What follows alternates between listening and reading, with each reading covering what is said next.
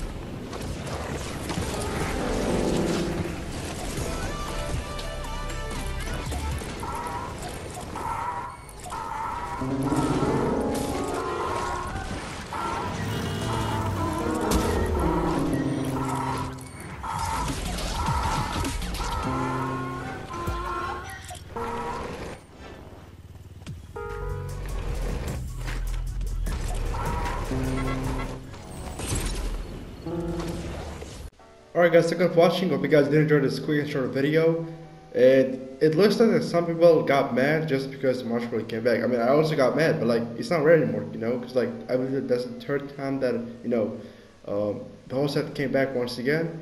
So of course it is not rare anymore. Because if you guys don't know, I actually had bought this whole set like at the first time that it came out, which it was at chapter one, season seven. You know, it's crazy.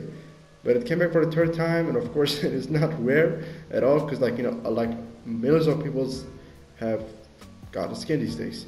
And also heard that um, Marshmello it is now the uh, most used skin in Fortnite, like in Fortnite history. So it's crazy. Right when the skin came out for the first time ever, like a lot of people have bought the skin, of course including me, and it's crazy. So thank you for watching. Make sure you guys let me know the comments thoughts about this and drop a like on this video. And yeah, have a good one.